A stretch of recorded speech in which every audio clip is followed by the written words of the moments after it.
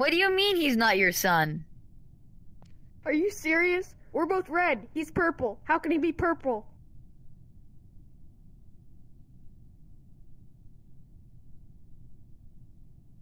I'm gonna kill you!